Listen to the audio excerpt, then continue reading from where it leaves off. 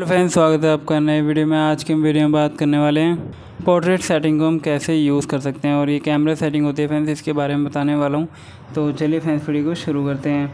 Video को शुरू करने से पहले अगर आप चैनल पर नए हैं तो चैनल को सब्सक्राइब कर वीडियो को लाइक कर दीजिए। फ्रेंड जैसे कि आप देख सकते हैं, मेरे पास ये रियल का फ़ोन है। और आपको सबसे पहले क्या करना है, सेटिंग पर क्लिक करना है। तो क्लिक कर लेंगे, यानी कि कैमरा सेटिंग पर क्लिक करना है। और कैमरे पर क्लिक करते ही आपको इस तरीके का आइकन शो करेगा। आपको यहाँ पर क्या करना होगा, जैसे कि आप देख सकते हैं पोर्ट्रेट वाले ऑप्शन पर जाना है।